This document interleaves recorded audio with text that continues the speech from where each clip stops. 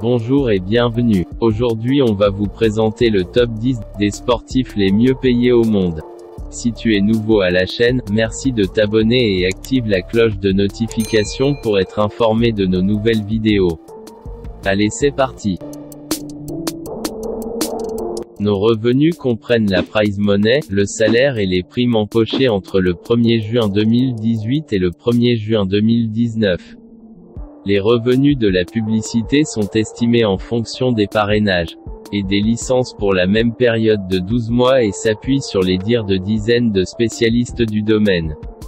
Nous ne déduisons pas l'impôt ni les frais des agents de joueurs. Et nous ne prenons pas en compte les éventuels revenus de placement des sportifs. Le premier de notre classement est l'Argentin Lionel Messi âgé de 32 ans qui est un joueur du FC Barcelone. Messi joue à Barça depuis 2004, il perçoit un salaire de 127 millions de dollars annuels. Un montant qui provient de son salaire de 92 millions de dollars et 35 millions dans la publicité. Le numéro 2 de notre classement est personne d'autre que son rival Cristiano Ronaldo qui actuellement de la Juventus depuis 2017. Cristiano Ronaldo vient en deuxième place avec 109 millions de dollars. Perçu de son salaire 65 millions de dollars et 44 millions dans la publicité. Le top 3 de notre classement est Neymar, le joueur de PSG occupe le troisième place avec un revenu annuel de 105 millions de dollars, qui viendrait de son salaire 75 millions et 30 millions dans la pub. Le top 4 de notre classement est un boxeur Canelo Alvarez, et oui les sportifs les mieux payés ne vient pas forcément dans football, et bien il y a d'autres disciplines c'est le cas de notre top 4. Canelo Alvarez touche 94 millions de dollars. Un montant qui vient de son salaire 92 millions de dollars et 2 millions en publicité. Le numéro 5 de notre classement est tennisman Roger Federer, le Suisse âgé de 38 ans gagne 93,400 millions de dollars. Un grand parti de ce montant viendrait de la publicité en tout 86 millions de dollars. Seulement 7,4 millions de dollars viendraient de son salaire.